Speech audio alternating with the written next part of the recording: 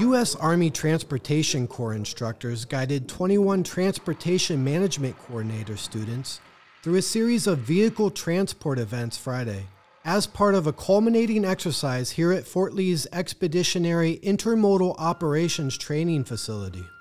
For me, the hands-on training is the most effective because I actually get that experience of tying down on a rail, being inside of an aircraft, tying down in there, center of balance with pallets.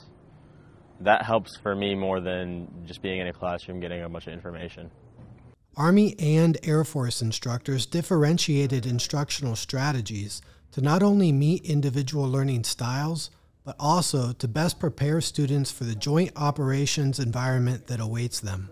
Good example is uh, when, when we had the, the hurricane in Puerto Rico, we didn't have uh, areas that we cannot, uh, roads were damaged, so we actually had uh, vessels that can dock in any any location. So we have we can bring their uh, the assets to those locations so that the people there can have you know water and certain things that they require.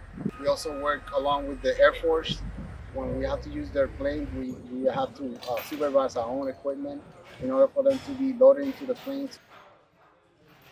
A lot of people wouldn't say that transportation is as important as, like, say, infantry or, I mean, something along those lines, but transportation, especially the way we do it, we get a mass amount of vehicles and personnel into an area in not a lot of time. So I'd say that's really important.